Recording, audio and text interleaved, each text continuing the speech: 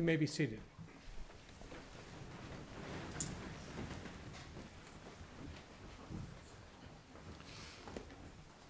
We have gathered this morning for the funeral of Matthew Matt McGahan, who died December 1st at the very young age of 35. It is difficult when we lose someone even in their 70s or 80s or 90s, and it is even more difficult to lose someone so young. And we have come together for this service. Our hope and prayer is that it will bring back memories to you of, of Matt and what he meant to you in your life, and that it will be a comfort to the family and to friends.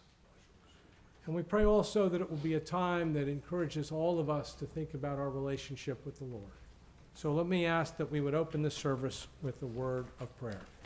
Please bow with me.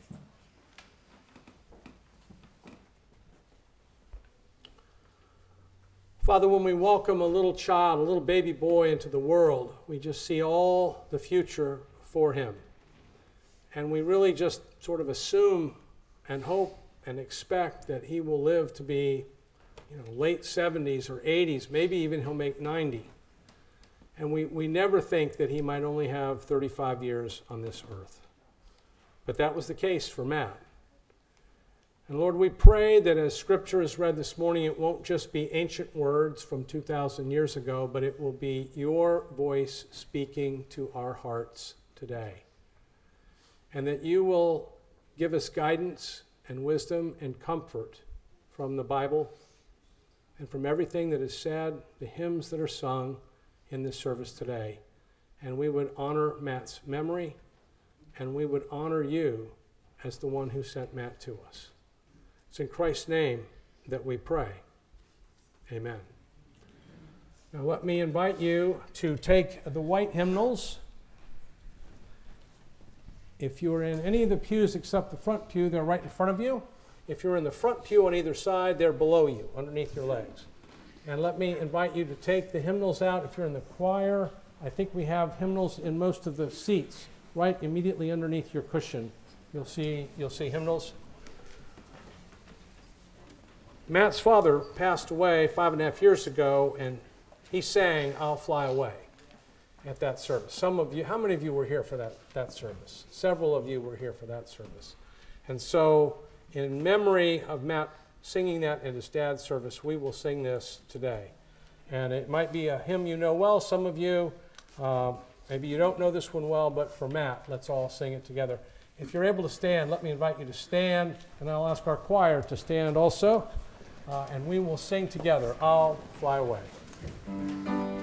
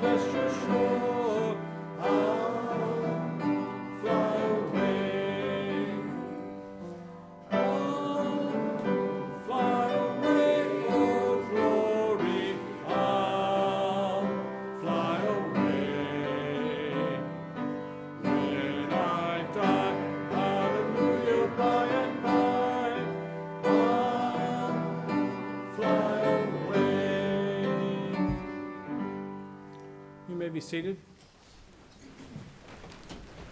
It's my honor to introduce Dr. Ruth Ann Sawyer, uh, Chief Chaplain at the hospital in Woodbridge and former associate pastor here at Haymarket Baptist Church. Dr. Sawyer, welcome. Good morning. My name is Ruth Ann. I had the privilege of serving as Matt's family deacon from the time that he was 15 years old. I got to know him as a teenager. At a time like this, those of us left behind after the passing of someone special hold tightly to Holy Scripture and to the promises that God grants us in Psalm 23. The Lord is my shepherd, I shall not want. He makes me lie in green pastures. He leads me beside still waters. He restores my soul. He leads me to the path of righteousness for his name's sake. Yea, though I walk through the valley of the shadow of death, I will fear no evil, for you're with me. Your rod and staff, they shall comfort me. You prepare a table for me in the presence of my enemies. You anoint my head with oil, and my cup runneth over. Surely goodness and mercy shall follow me all the days of my life, and I will dwell in the house of the Lord forever. Amen. We have gathered here together to remember and to celebrate the life of Matt. And we come together in grief, acknowledging our human loss. At this moment, may we search our hearts in our pain. May we find comfort in sorrow. May we find hope. And in death, May we find our own eternity in this day. You see, life is filled with many unexplainable things. And perhaps such an occasion that we are never more aware of that fact than we are like today when we lose someone that we love. We view death as a curse, even as an enemy. And death, unfortunately, as certain as it is, always seems to catch us unprepared. On November the 30th, we were not prepared for Matt to have not awoken with the morning light, as the beloved childhood prayer says. We are not prepared for the reality of that loss, and some of us here today are still not and may never will be. I want you to take comfort today knowing that Matt is closer to us now than he ever was here on this temporary earth. He has a very different life now and as in tune with all of you as he was, he sees you all in a much greater way than he ever could have on this earth. Now, speaking of tunes, I am told that he is quite the musician. Matt's love of rock music prompted this collaboration of death explanations from legendary rock groups, most of which he listened to, saw in person, and or sang himself. So from Pink Floyd, How I Wish, How I Wish You Were Here. Green Day says, It's something unpredictable, but in the end is right. I hope you had the time of your life. Jimmy Eat World, and if you were with me tonight, I'd sing to you just one more time. Led Zeppelin, there's a feeling I get when I look to the west and my spirit is crying for leaving. Queen, how do you think I'm going to get along without you when you're gone? Lynyrd Skynyrd, if I leave here tomorrow, would you still remember me? Guns N' Roses, it's getting dark, too dark to see feels like I'm knocking on heaven's door. Norman Greenbaum, when I die and they lay me to rest, gonna go to the place that's the best. ACDC, living easy, living free, season ticket to a one way ride. Bon Jovi says, Your faith was strong, but you needed proof. Linkin Park, The sun will set for you, and the shadow of the day will embrace the world in gray. And bread, I will give everything I own just to have you back again. But there's one more song that is more poignant and powerful than anything because Matt sang this himself. And it's almost like he knew. I listened to this the other night, and it's like he's singing it to us, and you can find it on his Facebook page, and you can find it on YouTube and listen to it. It was just a few short years ago. And it's titled Keep Me in Your Heart by Warren Zevon. And I want you to close your eyes right now, and I want you to listen to these lyrics that he sang himself as Matt is providing you peace right now himself. Shadows are falling, and I'm running out of breath. Keep me in your heart for a while. If I leave you, it doesn't mean I love you any less. Keep me in your heart for a while. When you get up in the morning and you see that crazy sun, there's a train leaving nightly called when it's all said and done. Keep me in your heart for a while. Sometimes when you're doing simple things around the house, maybe you'll think of me and smile. You know I'm tied to you like the buttons on your blouse. Keep me in your heart for a while. Hold me in your thoughts. Take me in your dreams. Touch me as I fall into view. And when the winter comes, keep the fires lit, and I will be right next to you. You see, we all have an idea of what this day means the finality and the pain, the joy, the remembrance, and the celebration. I think the old saying is wrong that states you only live once. Because from everything that you all here know about Matt, he lived his life by only dying once. He lived his life every second of every day by being the best son and brother and brother in law and uncle and friend that he could possibly be. And I urge you all in this day to take his example, to embrace it and to embody it, and to live your lives to the fullest as he did. Remember that how someone died is not nearly as important as how they lived. May his memory live on in your hearts and in your songs. Amen. The family requested that we have an opportunity for family members, but also for friends, if they want to share memories of Matt, to come forward now and to do that. So if you want to come share, please come on up right here to the pulpit. We have a little door right here near the choir loft, and uh, you're welcome to share your, your memories, your eulogy of, of Matt.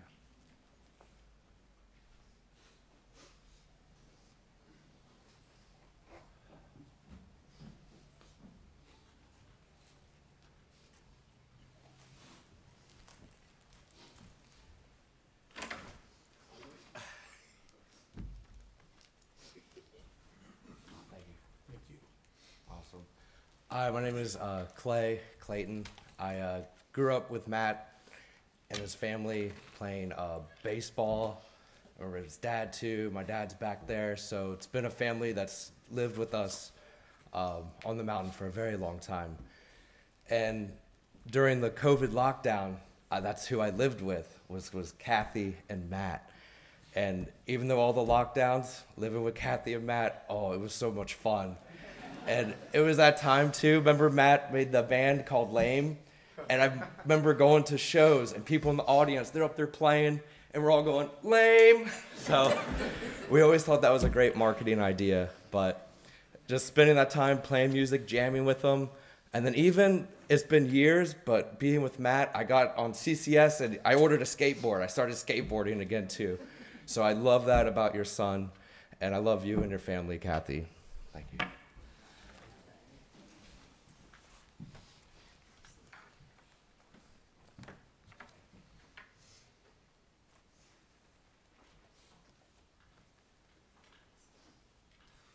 Someone else would like to come and share, please, come on up.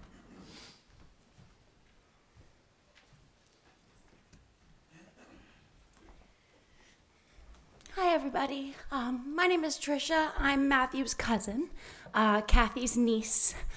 Um, and I just wanted to share a little bit about um, some of my favorite memories of Matt. Um, I'm also a musician, and Matt and I bonded very much over music. Um, and one of my favorite memories of talking about music with him, um, I'm the youngest in the family, and Matt's the oldest in the family. There's 11 years difference between us. So I remember coming home one Thanksgiving, and the first thing he asked me was if I still liked the Jonas Brothers. Um, and I was able to tell him that my taste had matured a bit, and we talked about different types of music. Um, so that's just, it always sticks out in my head of, you know, he was the first one in the family to recognize that I wasn't a little kid anymore. And um, I'm going to miss, um, you know, we always messaged each other on Instagram about when are we going to come and jam. Um, and my sister, uh, she still has a video of, um, I think it was at least 12 years ago on Thanksgiving. And the video is my father, Tim, um, playing guitar, Matthew playing harmonica, um, Matthew's dad, my uncle Pat, sitting watching football on the couch. Um, and in the background, you can hear Kathy laughing with my mom, and I'm sitting there playing Nintendogs, um, the little baby of the family. So it's just my favorite thing to watch and just kind of hear everyone's voices and remember when all of us were in that little cabin together. Um, and last, just the biggest thing that sticks out in my memory is always wanting to go in Matt's room because I knew I wasn't allowed because uh, he was 11 years older than me. So, um, but yeah, it's uh, the perspective of the oldest of the family to the youngest of the family. He never made me feel like the, the baby. So I'll always appreciate that. Um, and the Jonas Brothers are still awesome. Thanks, Matt.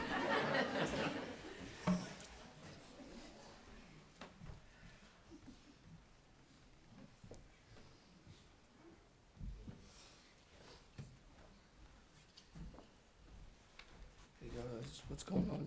Hi, I'm Tyler. Um, uh, gonna try my best to get through this. Hi, Kathy. Hey, Nate, Shannon, Holly, everybody, um, all of our friends. Um, Matt loved all of us so much, and um, um, you know, as much as this day sucks, it's still a celebration of his life and remembrance of him and all the good times that we had. And trust me, me and Matt had a lot of really awesome times. Um, a lot of bad times as well, but you know that that comes with having a brother. You know, and I never had brothers, and Matt was probably one of the closest people in my life that I could say is a brother. And unfortunately, we've lost a lot of them through the years. But I just wanted to uh, share a story of the first time I ever saw or met Matt. Um, I got invited to a THP show in high school, and um, I had no idea who these guys were. I went to Manassas; they all were on the other side of town, and um,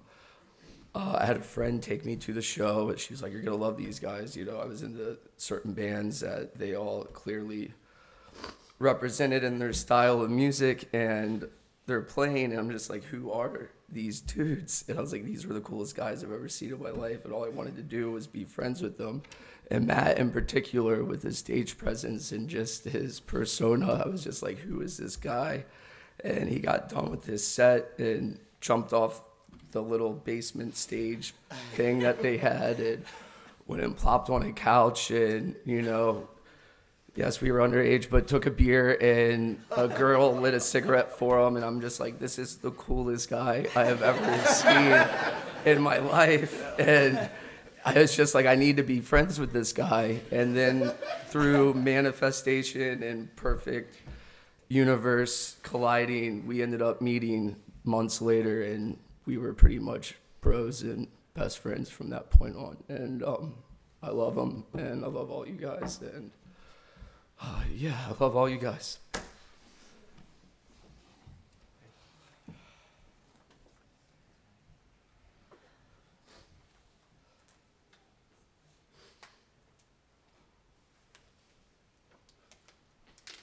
Thank you all for sharing from the heart. Actually, uh, oh, you want to? Yeah, please come ahead. I didn't want to cut anybody off. Please come ahead. Ah, uh, my name's Aaron. yeah, what's up? I grew up. Uh, I grew up with Matt on the mountain, and uh, fuck, man, that's so hard. Sorry. Uh, the thing I like about Matt is that, um, like, we grew up skateboarding together, and part of skateboarding is uh, that you fall a lot. No. and Matt probably fell the hardest of all of us when skating. He's a big guy. but part of uh, skateboarding is that you get back up too. You keep trying. And uh, so what I loved about Matt is that um, no matter how hard he fell, uh, he would always get back up and he'd, uh, you know, he'd, he'd always give his best. And uh, whether it was his guitar playing, you know, his singing or his skateboarding or whatever, he'd always just give it all, his all, and he'd never, he'd never hold back. He'd never say like, you know, like I'm too scared to do that, or I don't want to do that, or what if, you know, what if I fall?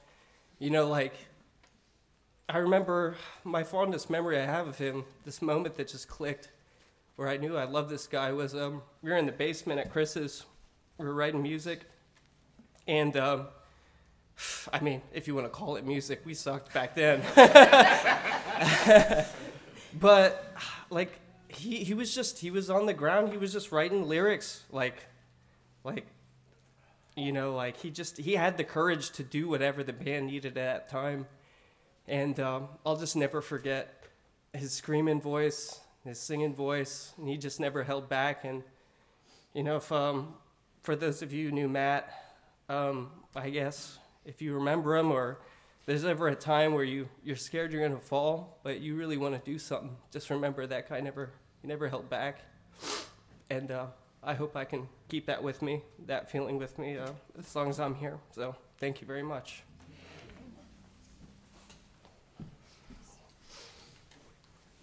Oh, come on.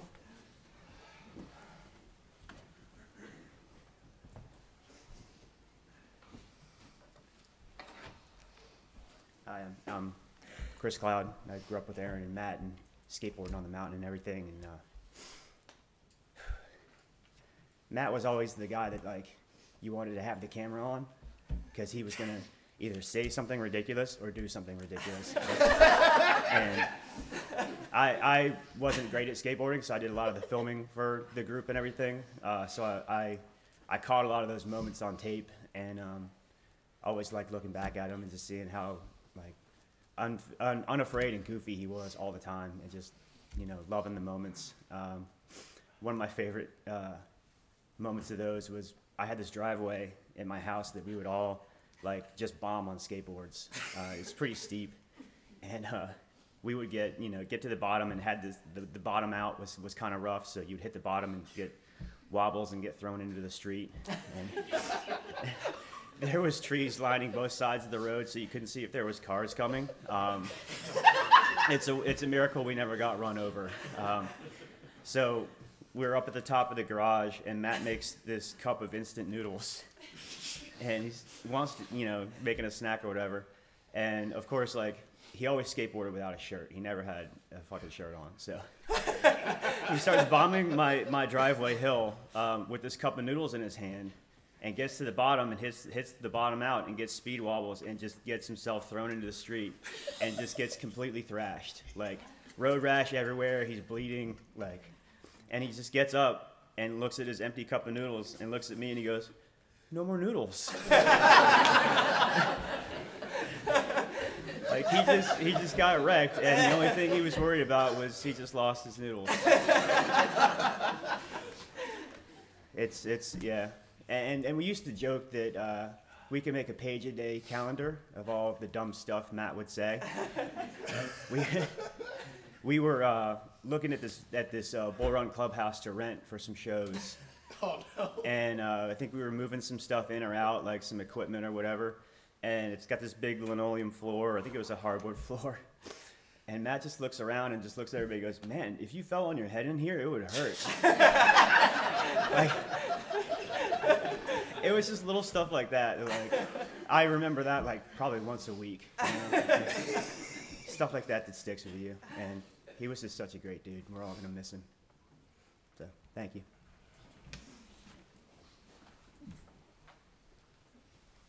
Thanks to each one of you who shared very much.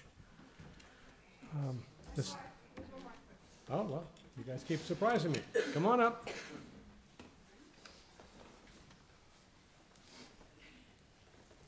It's right, right here is the door.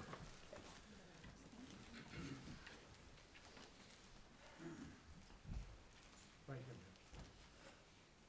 I'm to have to read mine because I'm not very good at impromptu statements.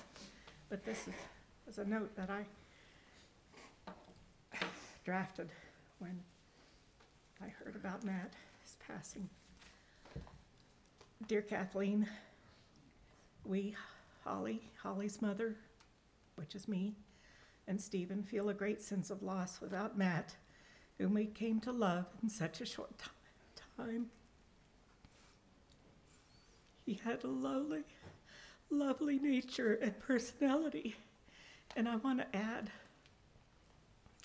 that he must have been brought up with wonderful parents because of that. We want you to know that we are holding your family in, the, in our heart and hope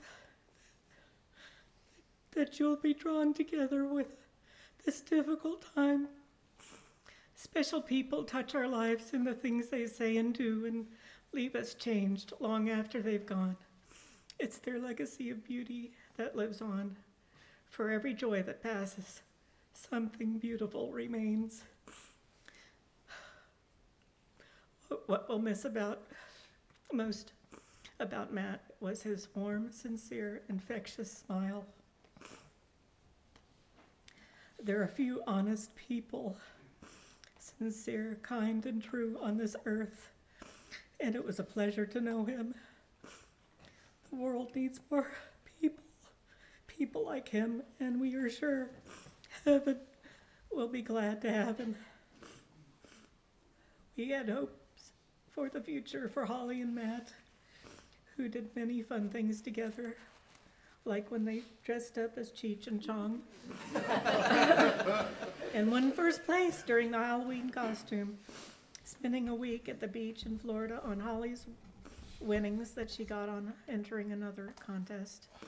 She's the luckiest person I've ever known. She also won a car for me that I drove for 20 years. and spending, uh, let's see, going, going to clubs and other things. We enjoyed having them over for dinner on several occasions, playing dominoes, and taking them to dinner. They had a very special bond together. I hope it helps to think of your son as being in the cradle of God's love. In time, he will heal your pain. We hope that the loving support of family and friends with your faith in God will help you through this difficult time. Our deepest sympathies are with you. Thank you.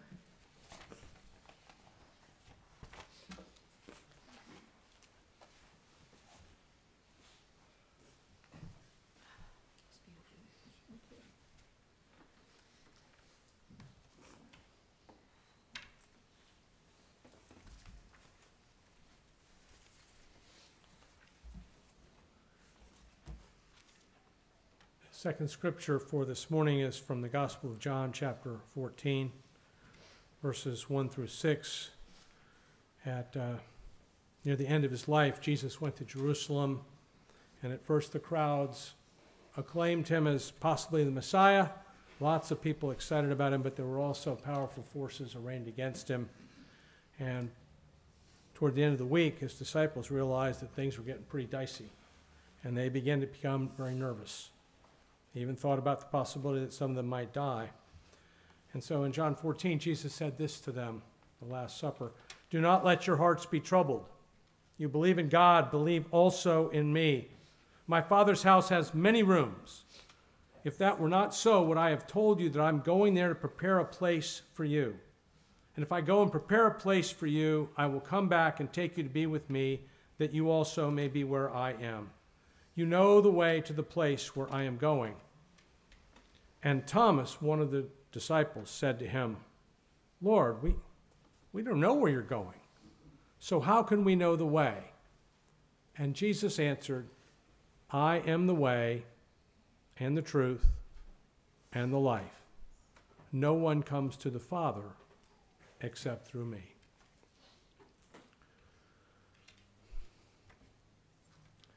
Life expectancy for American men is 77 years, but the way averages work, some of us live to be 90, and then some of us die young. We never really expect that, and certainly didn't expect it for, for Matt. To have a friend die so young is just a, a shock for all of us, and for the family and for friends. One thing a funeral should do is to express thankfulness for what God gave to us in, in Matt. And you have done that better than I can, and I thank you for it. Uh, I'm told he was born at Fairfax Hospital on April 14th, 1988. Kathy would know, she was there. he was raised in Haymarket, big brother to Nathan. I'm told there was some sibling, sibling rivalry that I, I won't go over details of that but it recalls my own rivalry with my brother Kent. And uh, some of those things are best just left between brothers, you know. We'll leave that alone.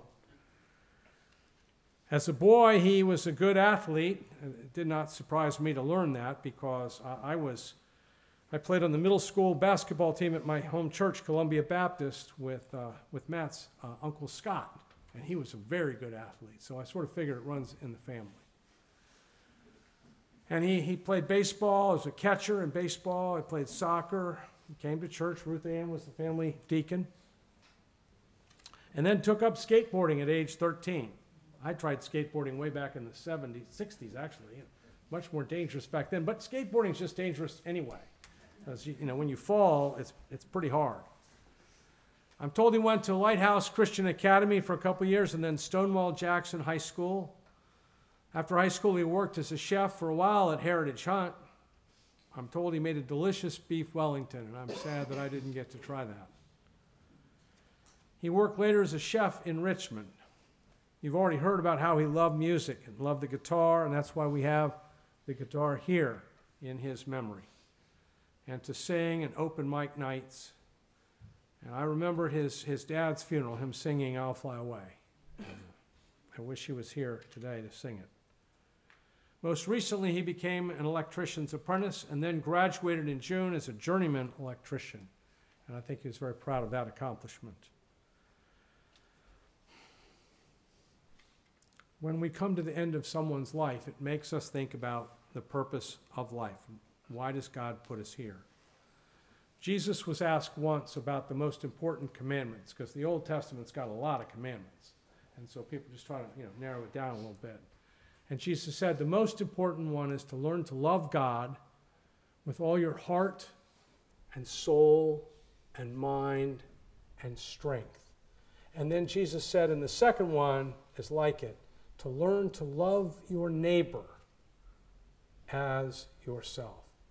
These are the two reasons that God put each and every one of you here to learn to love Him, your Creator, and to learn to love all these people around you who are not perfect. If they were perfect, it'd be easy to love them, but they're not. And learning to love them is the, the reason that you were placed here. Each one of us was placed here. You know, Jesus' disciples followed him, but they were human. And when things began to get pretty rough and it, it, became apparent to them that there were powerful forces arrayed against Jesus and things might turn out badly this week, instead of turning out great. They, they expressed their nervousness to him, and that's when Jesus said these words of comfort. He said, I'm, I'm going to prepare a place for you. And I, I believe with all my heart that that is what Jesus Christ came to do to teach us what life is about, about learning to love God and love others, the people around us, even those who treat us badly, to learn to love them as well. And then Jesus gave us an assurance to say, if you will follow me, I have gone to prepare a place for you. And so, whether you live 35 years or 77 years, or if you make it to 100, that's just a drop in the bucket over what I've got planned because the Lord has eternal life planned for each and every one of you. He wants that relationship with you. And it's not because of all of our great accomplishments that we get that. The Bible teaches us that Jesus Christ died on the cross that we might be forgiven of our sins because each and every one of us falls short. Now, some come pretty close Mother Teresa, Billy Graham, but even they fell short in some ways and needed to be forgiven. Others of us fall quite a bit shorter of God's goal than those two did. But Jesus Christ even took a man who was being executed for some terrible crime, a thief on the cross. And when he turned to Jesus and said, Lord, remember me when you come into your kingdom, Jesus, also hanging on the cross, looked at that man despite his failings and said, Today, you'll be with me in paradise. That is the promise that Jesus Christ offers to each and every one of us. And there was a, a man who came to understand that, not because he was such a devout Christian, actually, a, in a lot of ways, a pretty awful man, a man named John Newton. He, uh, he was a talented, smart guy, but he, uh, he lived in England in the mid 1700s, and his dad was a sea, sea captain. And so he became a sea captain. And then, and then discovered that you could make a lot more money as a sea captain if you took your ship to Africa and bought slaves and took them to the New World and sold them for a huge profit, each and every one of them, except the ones you had to toss overboard when they died. It's a pretty brutal trade, but it's very lucrative. You can make a lot of money. You can go from lower middle class to a wealthy man pretty quick. And John Newton did that. And then he came to know Jesus Christ. And he realized eventually that it's not just adding some prayers to the life I'm living, it's not just reading the Bible a little bit or even going to church regularly, although those are good things. The Lord really wants me to turn my life over to Him and say, What do you want me to do with this life? And the Lord said, I don't want you to be a slave ship captain. And the Lord called him to be a minister. And then he thought about all the horrible things he had done and how he could possibly be forgiven for all of that. And his conclusion was I'm a great sinner, but Jesus Christ is a great Savior. And he let himself be transformed by what Jesus did for him. And he sort of summed it all up with a song that he wrote. It's probably the most famous hymn in the world today. It's Amazing Grace. And I'd like to end this service with this hymn. So if you would take that hymnal out again and turn to hymn number 104.